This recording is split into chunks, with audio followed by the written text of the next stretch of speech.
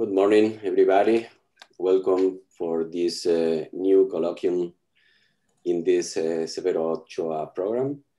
Today, we will have uh, the talk by Dr. Bruce Elmegreen, and he will talk about the regularly spaced 8 micron cores as tracers of the earliest stage of star formation in spiral arms of nearby galaxies.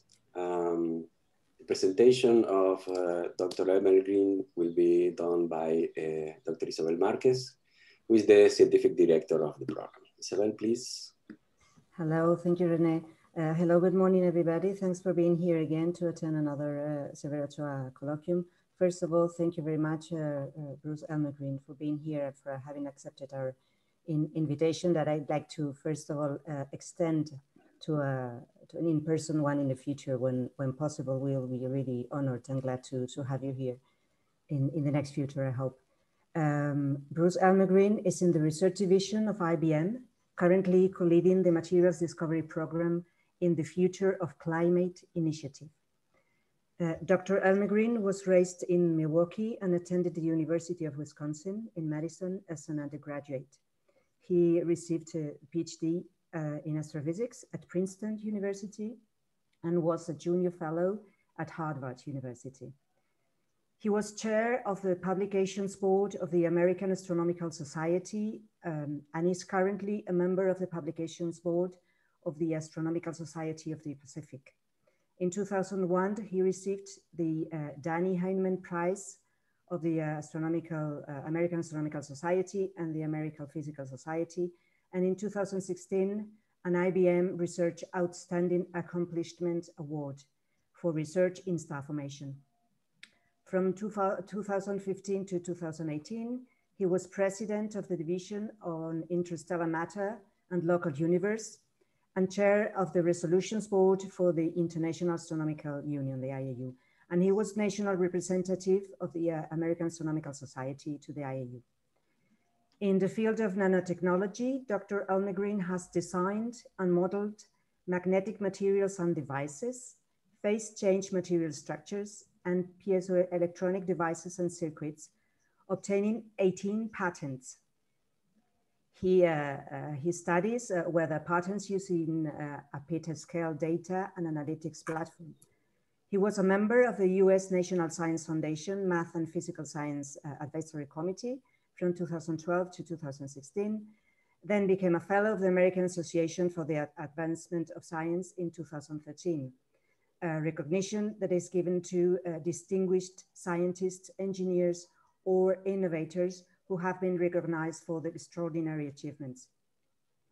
The conference Lessons from the Local Group was organized in 2014 at the Seychelles on the occasion of David, uh, David Block's 16th uh, uh, birthday and, uh, and the number given in base two, birthday of Bruce Elmegreen. That's quite amazing, I, I, I found it out.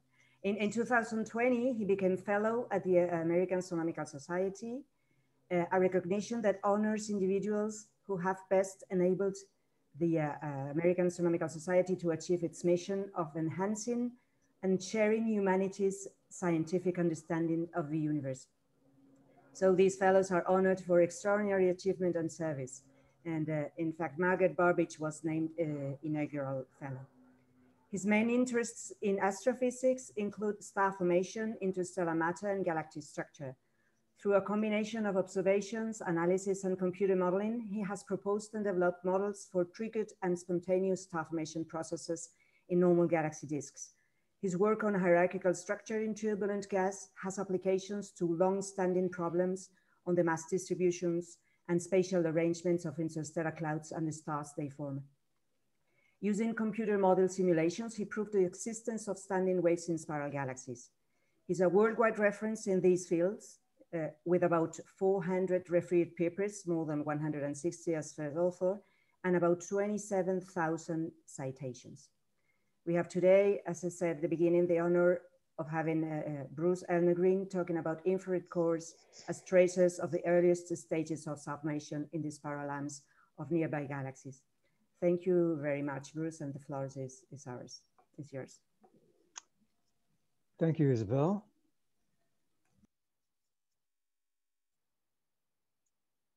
let me um, first get this ready, a little trick I learned to get my laser on there. Um, so it's quite a pleasure to be here. Granada is one of my all-time favorite cities. You'll recognize that little street post. Um, and of course, I hope to visit you in person sometime in the future when uh, COVID has uh, truly ended. Um, today, I'm going to talk about a long time interest I've had in, I'm trying to get this thing minimized. There we go. In um, large scale properties of star formation, this has to do with um, where and how star formation begins on a galactic scale. And you, you know this problem, it's been around for a long time. The problem of star formation tracing spiral arms, strung out like pearls along the arms, as, as Baade said originally. And the question is, why is this? Um, we know that this, the spirals, of course, are, are density waves. Everything is compressed there. The gas is compressed also. And in most cases, the um, extra star formation there is just because there's extra gas. The change of efficiency is hard to measure. In some cases, um, there does appear to be a slight increase in the efficiency, that is rate per unit gas. Other cases, you can't really see that. But in any case, we can't really see what's happening. Uh, Roberts would have said in 1969 that there's a shock there and we can see those dust lanes but we don't see much happening in the dust lanes. Maybe it's just opaque. And then we see downstream from the dust lanes. Now this would be, in this case, moving counterclockwise. We see all these OB associations and H2 regions. So we think there's a time sequence, but we don't see that really. So what's really happening? Well, um, this study began with communications with Yuri Efremov, a good friend of Amelia's also. Yuri passed away a couple years ago, was in Moscow, and he, he had a particularly interesting galaxy, NGC 6946, which is not this galaxy, but he would always talk to me about 6946. And we couldn't quite make any headway on doing another paper on it. But he would show me these images from the Spitzer IRAC archives. And, and, and I show you a different galaxy here, M100, which illustrates the whole point of this talk very well. And after seeing these images, I recognized something here that was more intriguing to me than what Yuri was after. He was after the holes in the shells. And what I saw here is all the little dots. If you look at this carefully, this is the eight micron image, you see the spiral arms, of course, the eight microns are showing you PAH emission. It's where all the gas and therefore dust is. And you see that you do see shells and so on. But you see all these little dots along the spiral arms. And I thought, you know, maybe this is the key to understand what's happening. So um, Debbie used her magic with uh, imagery, and we subtracted the 24 micron Spitzer image from the 8 micron image and making sort of an unsharp mask. 24 micron has a larger uh, angular resolution by a factor of about three.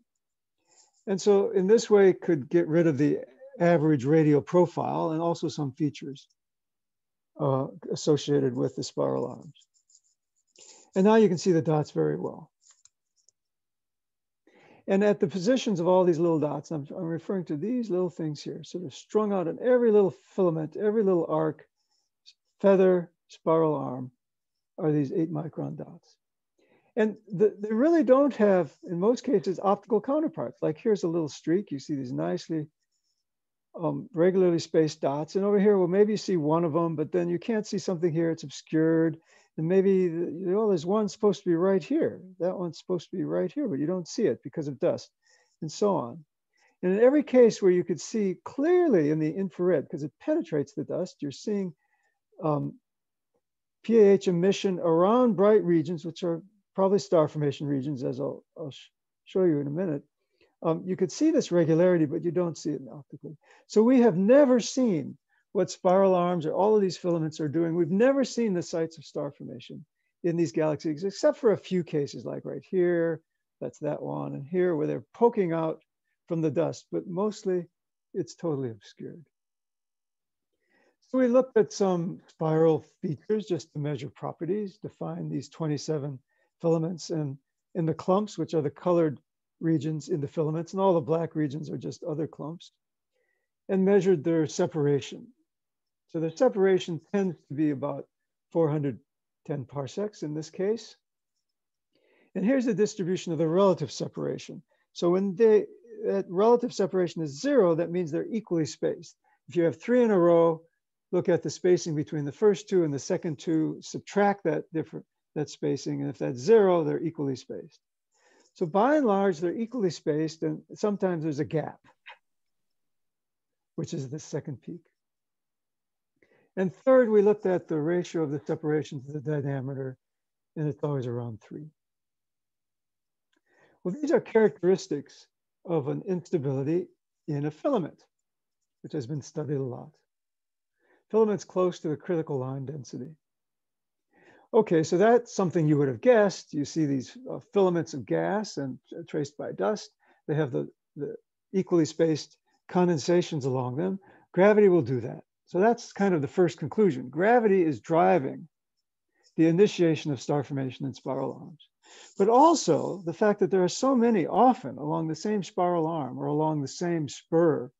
And, and the regular all along that length suggests that these filaments or spurs are somewhat uniform in age. Otherwise, you, an older part would have a, one of these condensations in and a younger part would just be building up now, and it would be um, blank. And this would uh, vary arbitrarily if, if the shocks were, were building up uh, continuously at, at, with different starting times at different positions, and then you get the condensation and it would break apart and flow downstream, and another one would build up.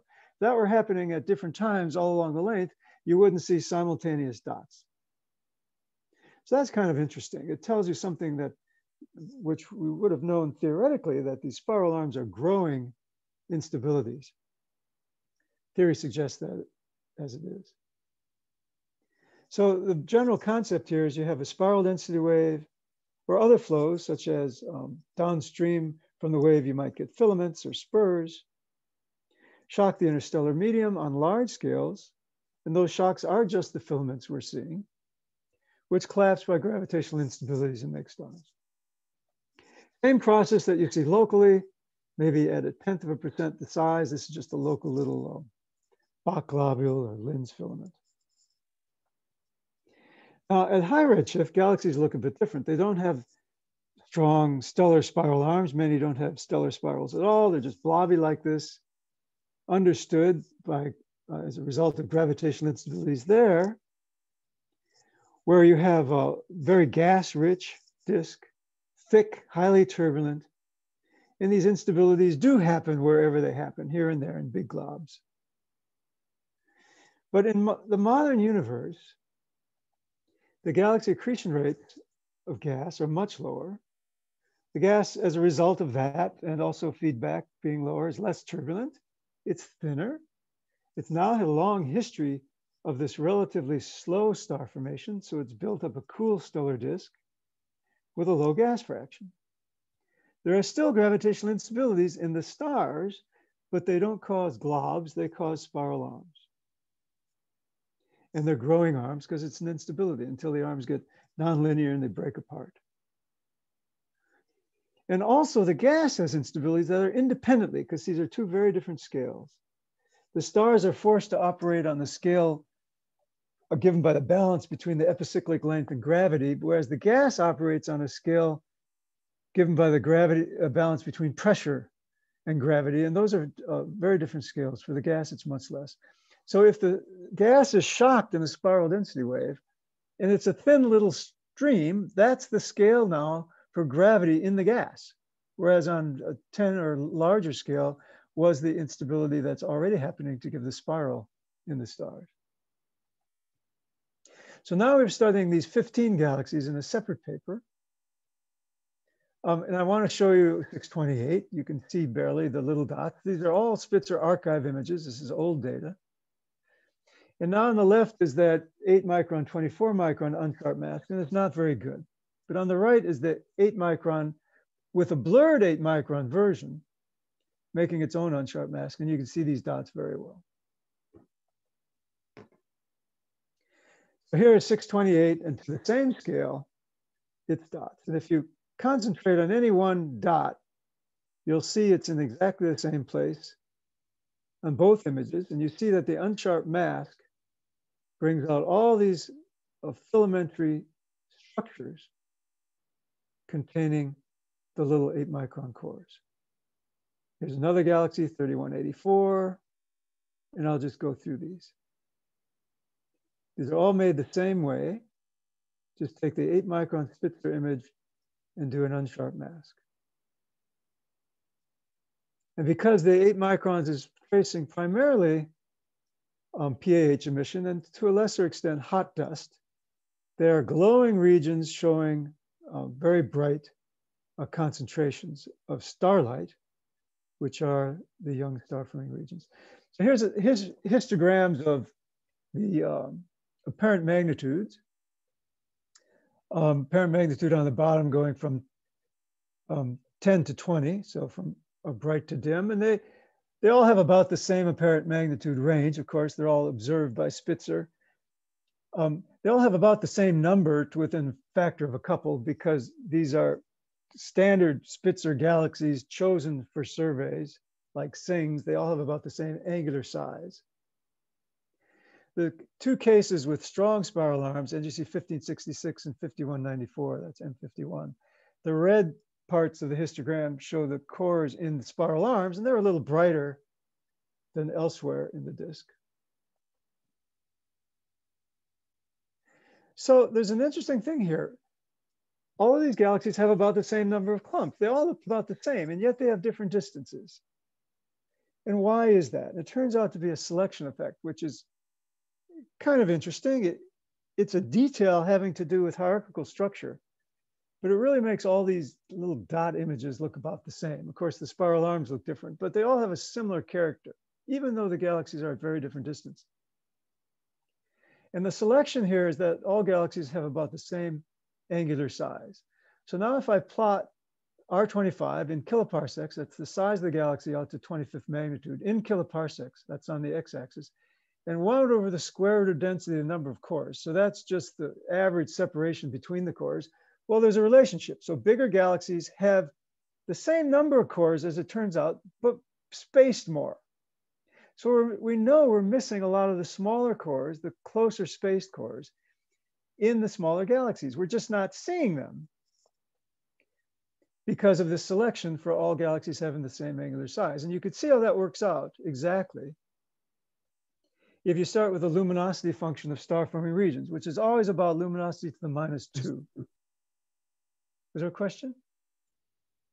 Okay. So the total number of cores, if you just integrate this luminosity function above some fixed minimum luminosity, that's say given by star formation, what's the smallest little star forming region you can get? It's just the ratio of the biggest to the smallest luminosity. That's what you get just by integrating this L to the minus two, you get an L to the minus one. And so you get the ratio of luminosities. And similarly, the total number you would see exceeding a minimum observed luminosity is the maximum size over that minimum observed luminosity. So that's the number. So if I have fixed star forming properties, that is a fixed minimum size or luminosity, in a fixed um, true a density of regions around a galaxy, so now the number of these cores will scale with the galaxy area. Bigger areas will have more star forming regions. And therefore the maximum luminosity will get bigger for bigger galaxies. That's the so-called size of sample effect. That's if we continue this power law all the way up to the biggest scale, which tends to be pretty good. Um, there may be an exponential fall off at scales larger than a couple or three times 10 to the fifth solar masses of cluster, which would be um, much larger luminosities than anything you're looking at here. So that's, that's power law. So here, the number you expect goes um, with the uh, size of the galaxy squared, and so luminosity maximum does. And for a constant limiting apparent magnitude, which is true for any survey, the minimum observed luminosity scales with distance squared too. So the ratio, the number observed, which is the ratio of this maximum size, which is a size of sample result, and the minimum observed size, which is a cutoff from observation, is constant. So we always get about the same number of dots. This shows the uh, color color diagrams of all these dots for the 15 galaxies. They're always about the same. I've excluded some that are in the low part, which are bare stars. These in this cluster here of, of dots correspond to normal photospheres of fairly young stars with about 15 magnitudes of extinction, which is some 300 solar masses per square parsec. And the 5.8 to 8 micron cluster here tells you it's from PAH emission. Those are, that's essentially broadband line emission. So these are all highly extincted and very young star forming regions. Now I can take the total IRAC luminosity, I was showing you eight micron, but I can add the three others. Convert that to bolometric for a young region, and then convert that to mass, again for a young region. And I can sum up all the masses of these little dots, not the diffuse PAH stuff, but just the little dots. And I can plot that against the uh, star formation rate summed up from usual mechanisms, maybe H alpha, maybe it's H alpha plus 24 microns. And I get a linear relation, which is telling me that the star formation rate is scaling with the total mass of these cores. And the ratio of these two is a time scale. And if this were mapping all of the star forming regions in these galaxies, that time scale would be the lifetime of these little cores. And the time scale that we measure is between a tenth of a million year and about a million year. Those are these two dashed lines, which is pretty reasonable, you would guess, for the length of time a, a bright little embedded cluster or young OB association is, is in one place, uh, illuminating PAH. So that tells me right away we are seeing essentially all, and of course, all meaning those I can see, that's the size of sample effect again, but, but in an L to the minus two distribution, the total mass increases with each logarithmic interval. So if I only see the, the top factor of 100 brightest ones in every case, I can easily get the additional bottom factor of 100 ones by just multiplying by two. So I'm within a factor of two of seeing all of the star formation in these galaxies um, just by summing these cores. And that other factor of two, that missing factor is all the fainter cores I don't see. So these cores are showing me the youngest phases of star formation. We also trace star formation with the H2 regions. Okay, it's the same star formation, but in the H2 regions, it's 10 million years later. And we get the same star formation rate because in that 10 million years, the star formation rate in the galaxy hasn't changed much. We're just seeing the youngest stages with these. So let's look at 628 again. There's the Spitzer image and there's the unsharp mask image. And here I'm going to blink between these two optical and unsharp mask. And you could see that we've been fooled all these years looking just at the optical. And we can't really see those little dots, which are showing us essentially all of the current star formation, younger than a million years or so in this galaxy. And if you just concentrate on any one dot, you'll see it's there. But if you if you look at a eight micron dots, often it's you don't see anything optically. In the Milky Way, we see the same kinds of things. We've known in the Milky Way about the spiral arms for a while. This original paper in 1954 defined the Orion arm, the Perseus arm, and Sagittarius arm. That's when they were first discovered and, and designated like that. Um, if we look at a modern map, this is H1 in the outer Milky Way, it's very clumpy. A clump size is about a kiloparsec. The smoothing length is this map, this map is about a half a kiloparsec. Separation between some of these clumps is a kiloparsec, and you can see the spiral arms. And you get the idea that there's a similar knotted or clumpy structure even in the Milky Way. Here's the CO, which is primarily in the inner part of the Milky Way um, again, with uh, big concentrations. These are much bigger than individual molecular clouds. Let's just look at one region. In the outer galaxy, the W345 complex, which is right here. Here it is. These are H2 regions now expanded. There's a, a current star formation going on in W3. There's a lot of bright rim type star formation around the edges of W4 and W5. So this is a continuing region of star formation. The whole age is Depends on where you are. It's maybe 5 million years here, five to three here and less than a million years over in W3. Extends for about 150 parsecs. Let's look at another one. NGC 7538, it's this concentration of H1 right here. And it's uh, similarly aged, maybe 50 parsec scale, current region of star formation here, uh, shells and so on from um, a history of high pressures. If I put the two together in the sky, they're separated by maybe 500 parsecs. These are the major concentrations in the Perseus arm. And you're seeing the same properties. Each of these has a giant H1 cloud around it, uh, maybe 10 to the seventh solar masses. And these outer galaxy H1 clouds were observed in the 1950s and their masses were known then. I've looked at them also even in the inner galaxy. So these are just another manifestation of this beating phenomena with many hundred parsec scales and major concentrations of star formation in each one. Let's look at the inner part of the galaxy now. Well, both going from inner to outer. Here's the NGC 3603, one of the largest or most massive clusters in our galaxy. It corresponds to that H2, H, H1 region.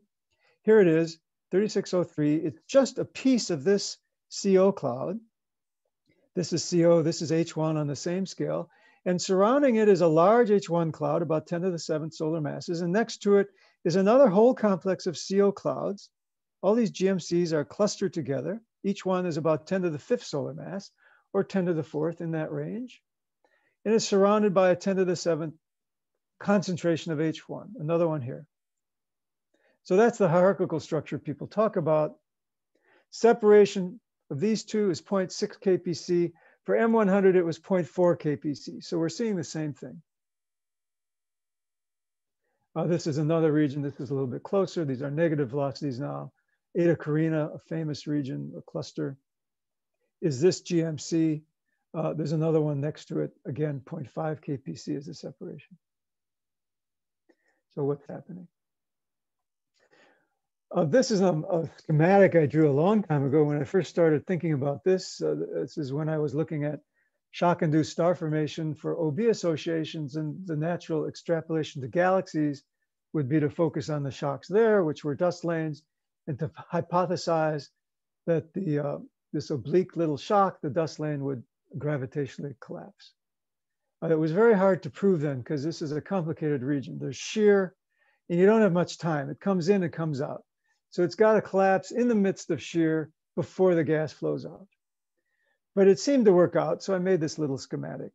In the meantime, of course, now there are good simulations of this. Here's one, for example, Kim and Ostriker just letting a, in a shearing sheet, letting the instability grow. It makes filaments, which then break up into clumps.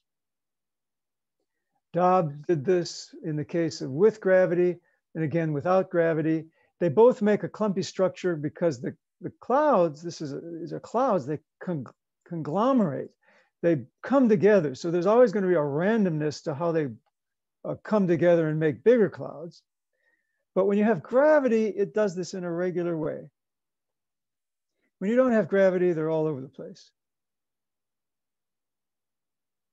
Here's another case where uh, you have a growing spiral. You just turn on the simulation and after a while, it immediately breaks up into these lumps, partly from a Kelvin-Helmholtz instability here, and partly from gravity.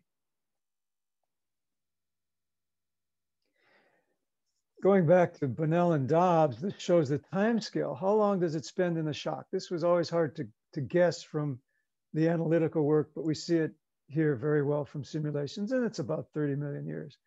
Gas comes in, flows through and comes out again it has to do everything while it's in the shock. So you've got 30 million years to play with. So now we have two numbers.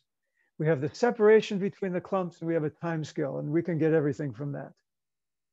Suppose they're filamentary instabilities. The separation is the fastest growing mode, which has this equation for its length. We observe that, so now we get a ratio of this mass per unit length over the density. That's here. We have a time scale which just depends on density. It's less than some 30 million years, which gives a minimum density in the, in the shock front, which is about the same as, as Debbie measured for her thesis a long time ago, just from uh, radiative transfer in the dust of the shock fronts. It's not GMC density. The average density is modest. So I can combine these two and get a mass per unit length, which I can then multiply by the length and get a typical gas mass in one of these clumps. A couple times 10 to the fifth solar masses. So that's a big GMC, not unruly big. Around one of these would be H1 to add to the to mass.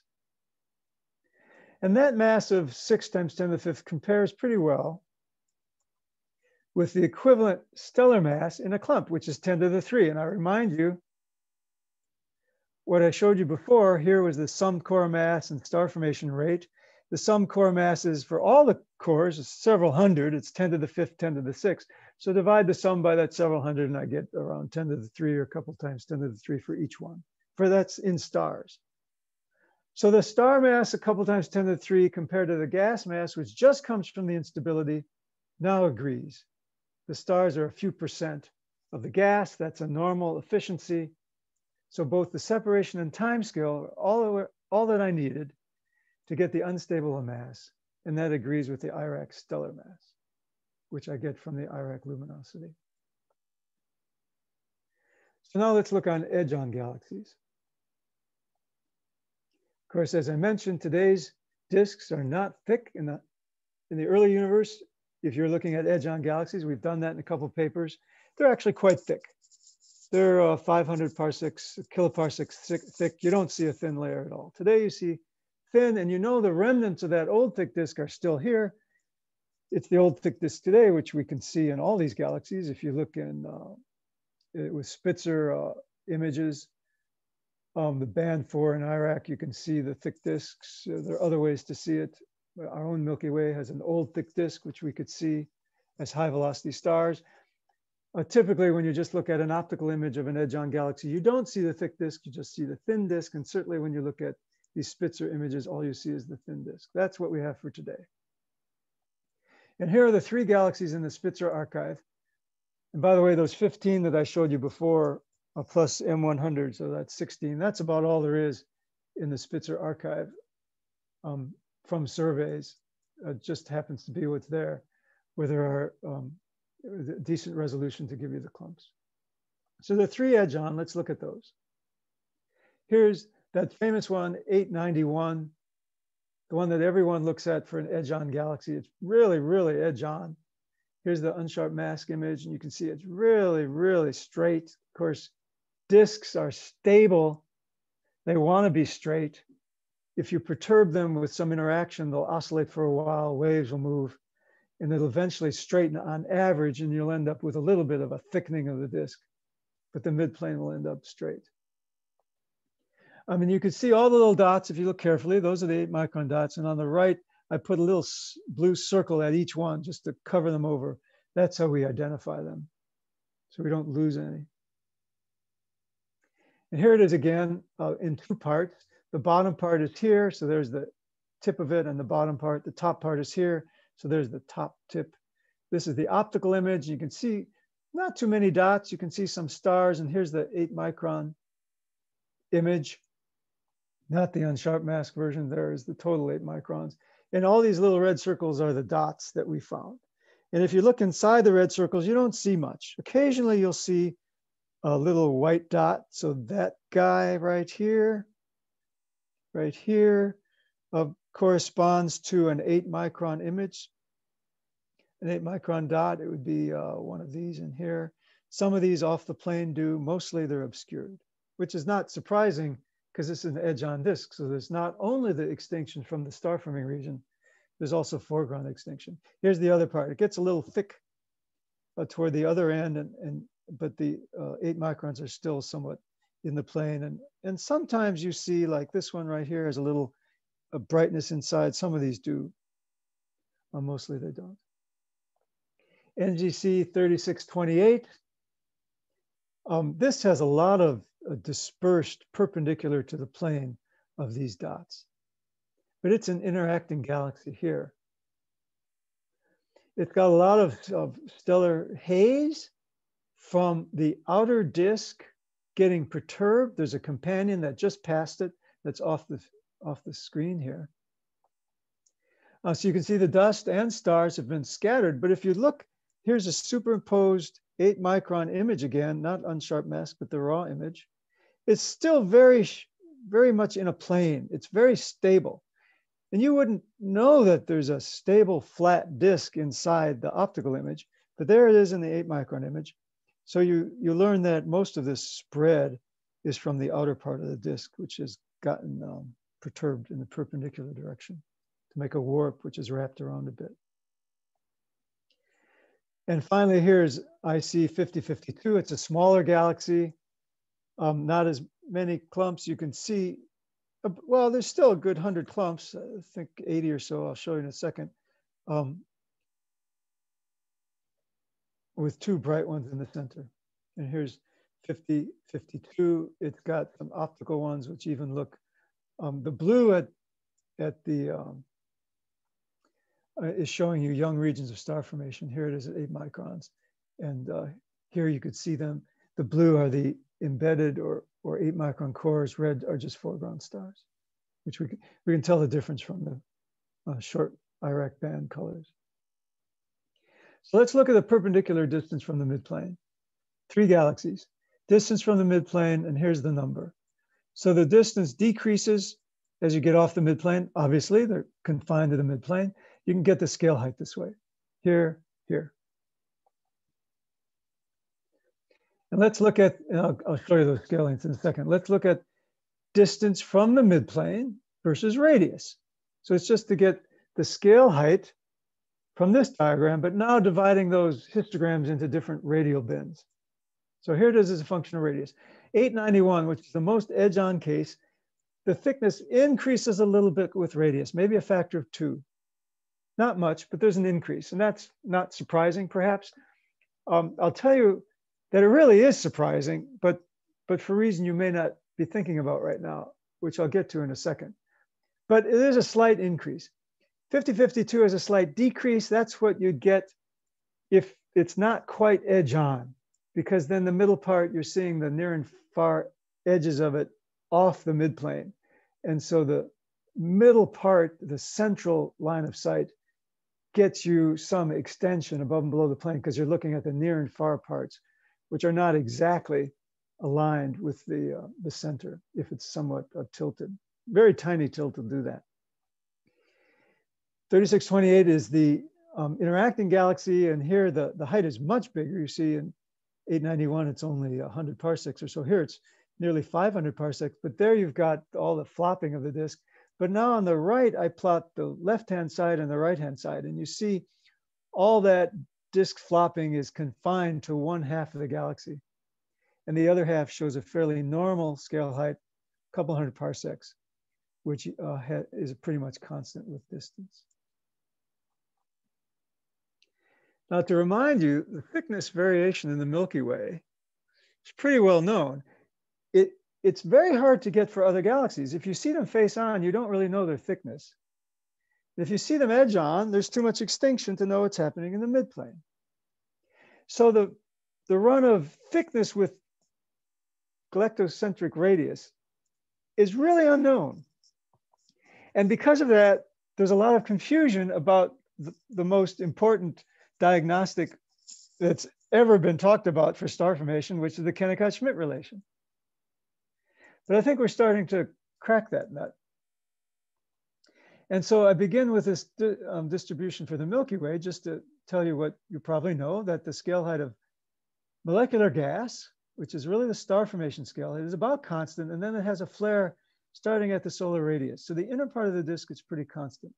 Why that should be is quite a mystery, because there's an exponential disk in here. So the, the perpendicular forcing, which just depends on the surface density of gas and stars, decreases exponentially here. So you'd think the disk would get thicker exponentially if the, if the velocity dispersion was constant, but it's not. The thickness is staying constant. That's why this is such a, a perplexing topic and why I showed you that what you thought might have been simple for 891 and having a slowly rising thickness is not so simple. Well, uh, here we have the Milky Way. And this is what you can get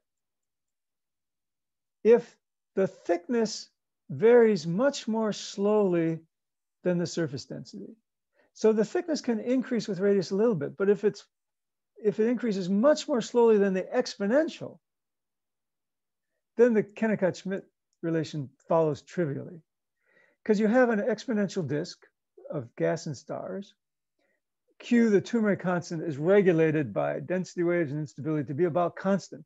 So that's what gives you the velocity dispersion. I think it's not feedback. I think feedback's a very local scale. Feedback breaks apart GMCs. And a study I just did with Deidre and some others, we looked at local velocity dispersion of H1 in some 30 dwarf galaxies and compared it to the star forming regions. There's almost no excess local velocity dispersion around star forming regions uh, in the H1. It's even more confined than that couple hundred parsec that you'd see for H1. So I think feedback is confined. I think the velocity dispersion that's on a large scale, which gives you the overall thickness of the disk and a lot of the properties of gravity on a large scale comes just from the regulation by spiral instabilities of Q. So there's your velocity dispersion. Just depends on the surface density of gas and the epicyclic frequency. And now we get the scale height just from the, those two. And so therefore we get the density. And the star formation rate is just the amount of gas you have per unit area times the uh, rate, which is a square root of density. And so here is that star formation rate as these two red lines, slope of 1.5.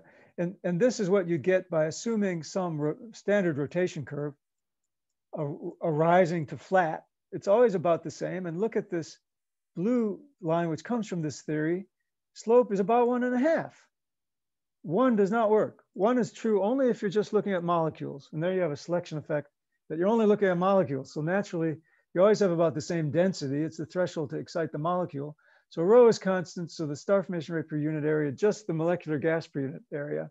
Linear relation, that's not the pure physics of star formation, which contains gravity, which contains a density dependent timescale, which is the true Kennicutt relation for total gas. And it just comes, I think, from having the thickness being much more constant than the surface density. So let's look at these edge-on disks a little more carefully, looking for shingles or corrugation, something that we see in the Milky Way, we see lots of perpendicular structures. Maybe you can imagine shells here, things getting tossed up and down. You see some so-called shingles, which have been um, well studied in the Milky Way. And I know um, Emilio likes this picture. He's been looking at these perpendicular uh, features in the Milky Way for a long, long time. That's 891. Here's 3628. Um, this is the one that's interacting, and I showed you that uh, this half of the disk has got a very, very much thickening, even of the star formation. GMCs are shot up to a kiloparsec or so. If the half, half thickness is about 500 parsec, even for the gas. The other side, the quiet side, is thinner, a couple hundred parsecs. And these things are consistent with being spiral arms, actually, with uh, 400 parsec spacing between them if you deep project them, and a little bit of an of an inclination, you know, like 89 and a half degree inclination, not exactly 90 degrees. And here's the uh, bright nuclear disk. And uh, 5052, maybe some structures, maybe this is random, maybe your eye is just being led to see some things, but, um, but there is a some perpendicular structure. And that's what gives the scale height, of course. It's not just everywhere an exponential fall off of the same kind of stuff. There's real structure with uh, the perpendicular direction. That's not understood. So summarize the results for edge-on, and then I'll give you the final summary, which is everything. Um, so I'm almost done here. Hundreds of eight micron cores have been seen in these three edge-on galaxies. Here are the number of cores, a couple hundred or uh, 60 for the smallest one. The average extinction we, for the star forming region we can take from the face-on galaxies, assume it's the same for the edge-on. So we get the foreground extinction, some 11 magnitudes, which is sensible, giving an average density of ISM of about one per cubic centimeter. The average young stellar mass in these regions, which we see around 10 to the fourth, about the same as what we got before, which was around 10 to the third, but here um, you're looking through more extinctions, so you don't see as many, you see the brighter ones. The ratio of the core total mass to the star formation rate is about the same, a million years or so. So this is a lifetime. Again, we're seeing the earliest stages. It's a little bigger number than before because we're only seeing the brightest ones. The half thicknesses are somewhat sensible, like 891 is similar to the Milky Way, 100 parsecs or so, similar for 50, 52. For 3628, it's much larger, but it's just had an interaction, so half of the disk is highly flared. Um, even, even the inner thick part is that, the outer part is even more flared. There are loops suggesting blowout, and most of these cores have no optical tracers and were never seen before. So in conclusion, most star formation in today's disk galaxies seems to occur by this process of collapse in filaments. And that's on scales ranging over three to four orders of magnitude. All I've done here is showing you what we've known for a long time on small scales, but it also occurs on large scales. Spiral arms and spurs in those arms and even big shells trigger star formation by collecting the gas into shock fronts where it indeed has time to collapse by self-gravity. This is a property of today's cool stellar dominated disks in which the main influence of gravity is to drive stellar spiral arms, which grow and then break apart. The gas just follows, shocking into these kiloparsec sized dust lanes. And because these arms are growing and the time scale is you know, a couple hundred million years, it's quite conceivable that many long spiral arm pieces and dust lanes are all about the same length all along those arms, which gives a regularity to the dots. The perpendicular thicknesses of the galaxies rise slowly with radius, much more slowly than the inverse surface density. And I think that can explain the Kennicutt-Schmidt relation in a trivial way. Um, and oh, I should get back. Yeah, and that's that's the end. Good. So thank you. That's what I have to say. Thank you very much. I'll leave this on. Bruce, thank you very much. And uh, now the talk is uh, open for questions. Please uh, raise your hand to do so, and I will let you open your micro. I think Emilio want to ask something. Okay, go on, Emilio. Yeah, hello everybody. Okay. You. Thank you, Bruce, for this nice talk and really have been very interesting to me because uh, there is some points I don't understand very well. So uh, in particular, my question is, uh, you are considering here gravity as the only driving force able to produce this kind of uh, figures and scale you are using in your observation. But what happened with the magnetic field? is something that uh, could change the scales and times for this kind for the formation of this cores? Yeah, very good question. Of course, there is a field. It, it's comparable in pressure. Um, comparable in pressure to uh, thermal. Some places larger, and the variation between thermal and turbulent is a factor of three to ten. So in many cases, it's comparable to the turbulent pressure, and there would be a field in these shock fronts compressed. Um, that would not, if, if it's compressed laterally, um, that would not affect the condensation along the length because it would just move along the field. But it would um, vary the separation a bit. They'd be a bit longer if there's a, a field as well. So um, what's involved in including or not including that field is on the order of factors of two. And I have not included it here because it's not quite sure what orientation the field has. Um, mm-hmm. For example, if it's, it should be a little oblique, in fact, a little oblique in those spiral arms. So um, there'll still be some motion, but it's, it's not easy to get the separation. So I've done a first cut. Also, when we look at polarization, we tend to see the field strength a little stronger I think it's between the arms because they're more combed out there and the polarization is less mixed in a beam. So the field structure is a bit uh, chaotic where star formation has lots of this yeah. local feedback. It's a little smoother when um, star formation has died down. Um, so the field will vary my story uh, in the factor of two range. But once you have a little condensation like this, the field is not going to affect it much. Once, once gravity uh, starts pulling things along the field, it's going to dominate. And, and this is the key. In observations of magnetic fields and GMCs,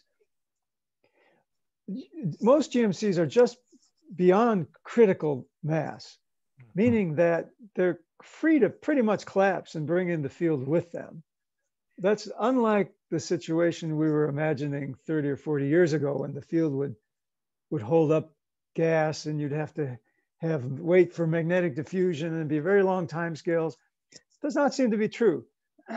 The, the fields are very close to critical and all you have to do is be a little greater than critical and then, then the collapse will proceed.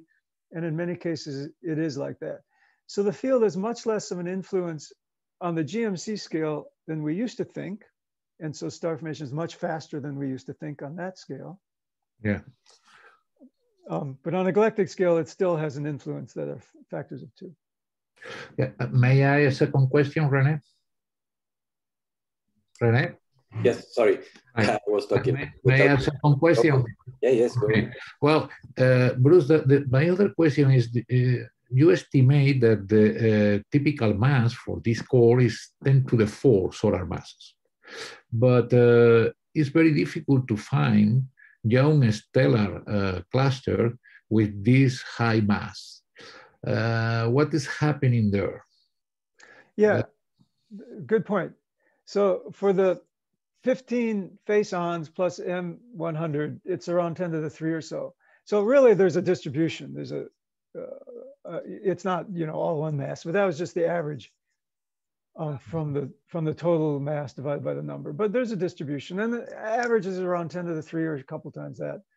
The edge on ones is a little uh, larger because there I think you don't see the 10 to the 3 so easily because of four, uh, 10 or 11 magnitudes of foreground extinction.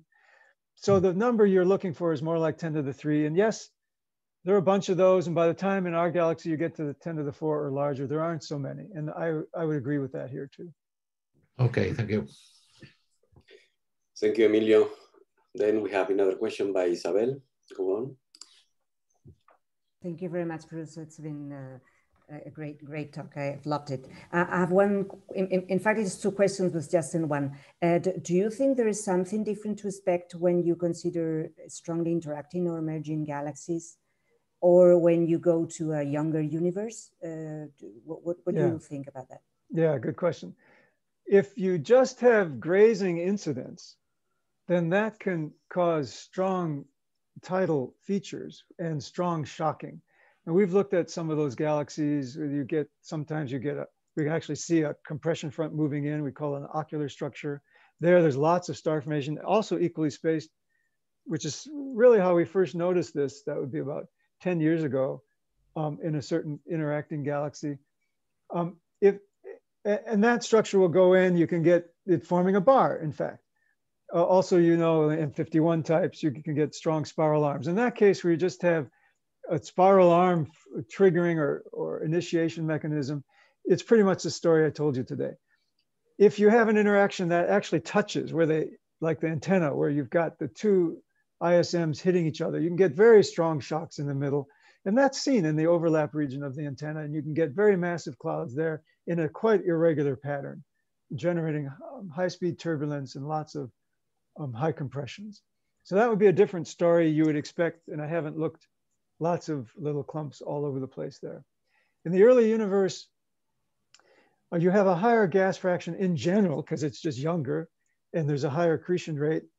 And that high accretion gives you energy, but also higher star formation to keep up with that accretion and higher feedback to keep up with that star formation. For all those reasons, you get more turbulence in the thicker disk. And there again, uh, you don't have the regularity of an undissipating stellar component. Everything is dissipating. So you get clumps everywhere. And there again, the morphology is different and the clumps still Jeans length, but bigger because the turbulence bigger. The scale is always about the thickness because that's how the Jeans length works out.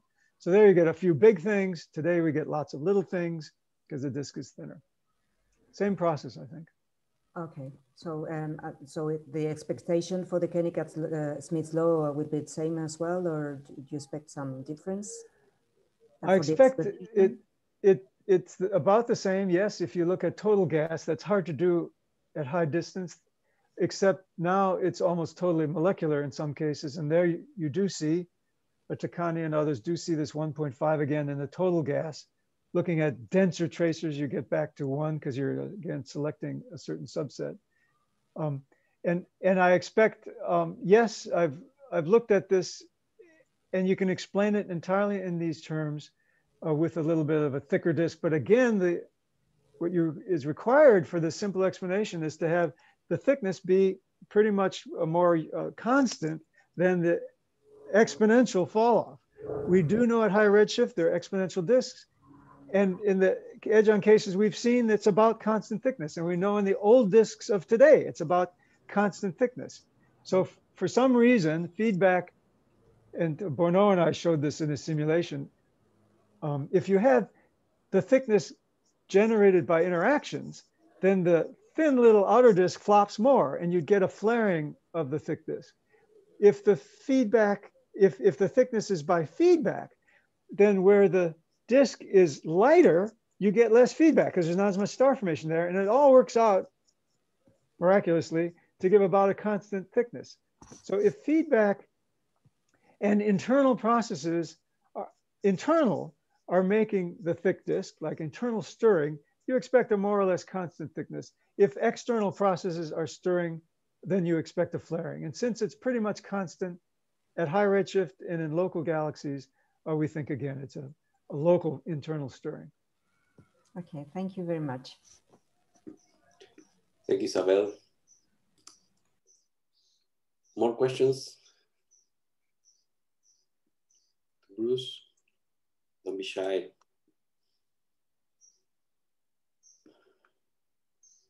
Okay, seeing none, uh, let's finish you. this talk. Thank you very much, Thank uh, you. Bruce, for this wonderful talk. Great, Great to visit you. Uh, Please.